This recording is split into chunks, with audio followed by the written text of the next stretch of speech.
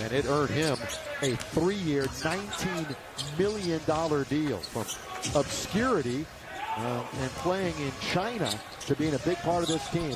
This is the semifinals. He gets to go to the championship round. Cameron Johnson, another fine player for the Very much so, Stu. Yeah. And it's tapped out to Rajon Rondo. Rondo, who is definitely playoff Rondo during the bubble last year, and it's going to be taken by Johnson.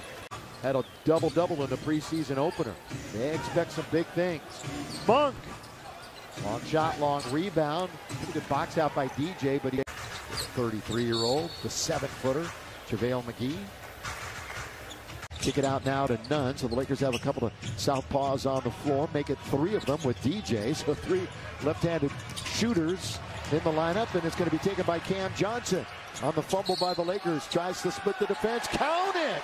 Left-handed shooters in the lineup, and it's going to be taken by Cam Johnson. On the fumble by the Lakers, tries to split the defense. Count it!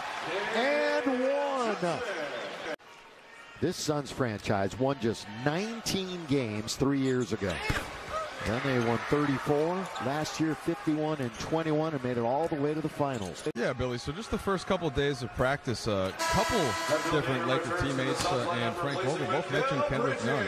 One of the things they like about him on the weak side of the floor, and this would be if Russ or if LeBron's in the game, he can both space out because he's a good three-point shooter. He, he, can also make a play off the dribble, um, so he can score from all levels. He gets to the rim. He's got a lot of nice uh, dribble handle.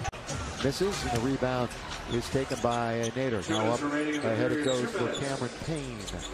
The two cams on the floor, one to the other, and Johnson hits the three. Been out there a while uh, before, and he really wasn't even noticeable. He was playing without the ball, and now he's dominating, not dominating, but has the ball and making things happen. Here's the Footprint Center, 99-74. Friday night, we're back at you at Chase Center. Johnson got it. Got